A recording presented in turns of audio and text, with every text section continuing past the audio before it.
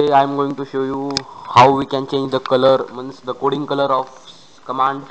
So we can use the so simply we have to type color 01 means 01 is for blue and let's go for 02 means green let's go for 03 means sky blue 04 for red 05 for purple 06 for yellow 07 is white which is default for the command and the 08 is for gray and the 09 last but not the least is for light blue. So thanks for watching my video. Like share and subscribe